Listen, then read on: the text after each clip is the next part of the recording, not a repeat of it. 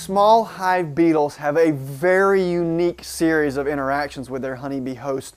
Once they go inside that colony, a number of behaviors that you would find it hard to believe actually occur. Here to tell us about that today is Eddie Atkinson.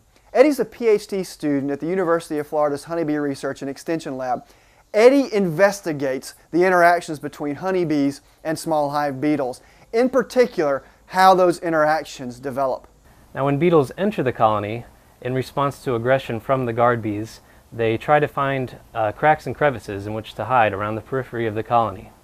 And when bees find these beetles in these cracks or crevices, the bees actually station guards to keep the beetles in these, in these prisons. And they do this to prevent the beetles from escaping and ovipositing within the colony. Now if the colony is stressed for some reason, whether it's queen issues or other pests, uh, the beetles can manage to escape and oviposit in the colony, which helps lead to the destruction of the colony. But in strong colonies, uh, the bees can keep the beetles in there indefinitely. Small hive beetles don't just starve to death while they're sitting in those bee prisons. In fact, they've got a very interesting behavior where they're able to solicit food from their bee host. Take a look at this video. In this video, a small hive beetle has approached the edge of a prison and the bee guard is standing there wanting to keep the beetle from escaping. This particular beetle has used its antenna to rub the mouth parts of the bee.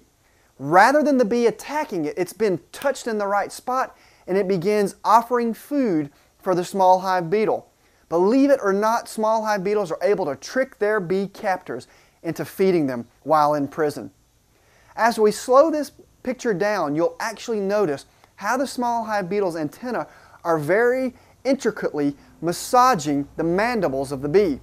This causes the bee to regurgitate nectar or honey from which the small hive beetle just sits there and eats. After the small hive beetle is finished feeding, he or she will go right back down into prison waiting for a chance to escape.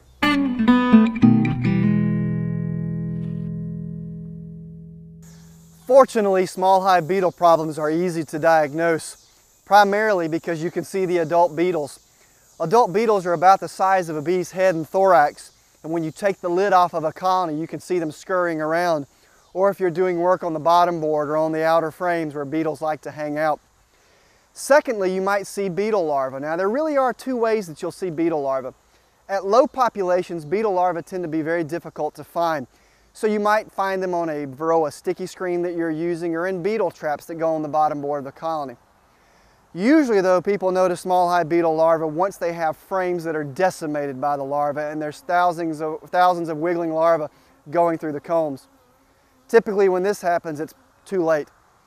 Also, you may notice beetle presence when bees begin aborting lots of brood. This is usually a sign that beetles are ovipositing in the brood and bees are removing that brood to get the beetle eggs and beetle larvae out.